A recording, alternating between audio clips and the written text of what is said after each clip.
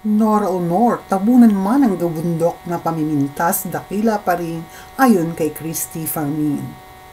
Opo, ang kolumnista at reporter na si Christy Fermin ay nagpaliwanag kay Lotlot de Leon tungkol sa sinabi niya sa kanyang balita noon sa Filipino Star na sina Kiko at Kenneth ay parang mga dahon ng napalutang-lutang na ayon sa kanya iba ang pagkaintindi o ang interpretasyon ni Lotlot sa salitang palutang-lutang. Ito ay kanyang ipinaliwanag at ito nga po ang kanyang sinabi. Pakinggan po natin ito.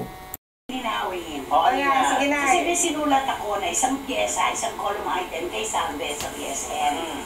Ang dami-daming tumawag at nag-text sa akin na nailakad ko ng maayos yung kwento tungkol kay Nora at kay Lotlot. Mm. Pero parang nung mabasa ni Lotlot sa pamamagitan ng isang mangga, uh, nagpaalam sa kanya, na mali siya sa interpretasyon ng palutang-lutang.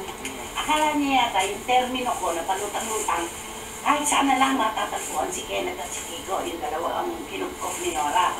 Hindi niya na intindihan na may desisyon si Ian, si Lotlot, si Madet.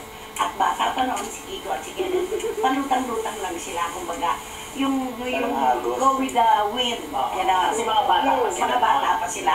Lot yun ang ibig sabihin nun. Yun ang ibig sabihin. Hindi ko sinabing palutang-lutang na strike everywhere, na walang magandang buhay. Ang palutang-lutang, yung go with the wind. Nalaman ko. At idinugtong pa rin niya ang kanyang saloobin na ayon sa kanya, ang lahat ng kaibigan nila Honor ay naging masaya nang mag-post nga si Lotlot ng kanyang letrato with her mom noong siya ay bata pa. Ngunit marami naman ang mga Noranians na sa halip na matuwa ang iba ay nabash din naman si Lotlot. Pakinggan po natin ang kanyang sinabi tungkol dito. Si Lotlot, ng black and white picture nila ni Nora, walang caption. Na ikinasama ng loob ng mga Noranians. Wala raw siyang utang na loob, walang pagkakahalaga. Sana man lang daw nila kita ng kauli na, I miss you, mommy.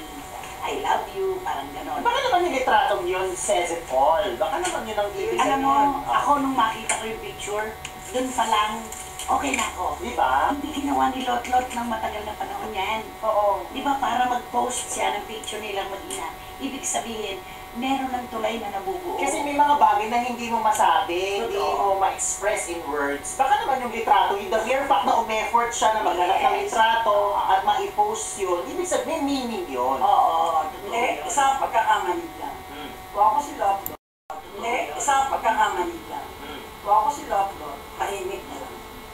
Dapat hindi mo sumagot, hindi na ano, dapat talagang tahimik as in. Ah, kasi may nag-comment. Oo,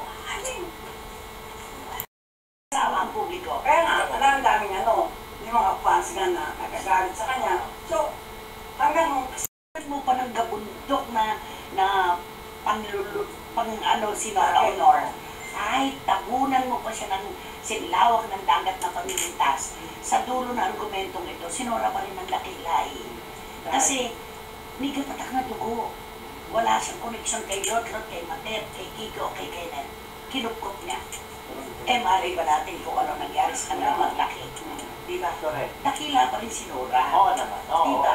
Tsaka may, may rason yun. Baka na-misinterpret lang siya kasi may bata pa siya. Hindi natin alam Yes, nobody knows what is the reason behind ang hindi nila pagkakaunawaan at ang mga taong malalapit sa kanila ay hoping and praying that one day soon their relationship as mother and daughter will be back uh, as it used to be and for Lot Lot na palagi din namang nababash na unfair din sa kanya talagang ganon may naniniwala merong hindi and to both of them God bless to both of you, Miss Nora Honor and Lot Lot.